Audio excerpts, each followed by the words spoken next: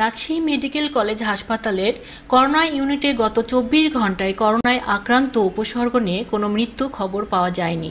আজ সোমবার সকালে রাজশাহী মেডিকেল কলেজ হাসপাতালের পরিচালক ব্রিগেডিয়ার জেনারেল শামীম ইয়াজদানি বিষয়টি নিশ্চিত করে জানান।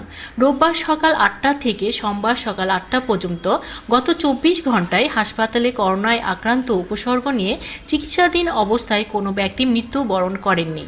গত চব্বিশ ঘন্টায় করোনায় আক্রান্ত উপসর্গ নিয়ে তিনজন নতুন রোগী ভর্তি হয়েছে। বর্তমানে হাসপাতালে করোনায় আক্রান্ত উপসর্গ নিয়ে চৌত্রিশ জন রোগী ভর্তি রয়েছেন আর হাসপাতালের করোনা ইউনিটের বেড সংখ্যা রয়েছে একশো চারটি।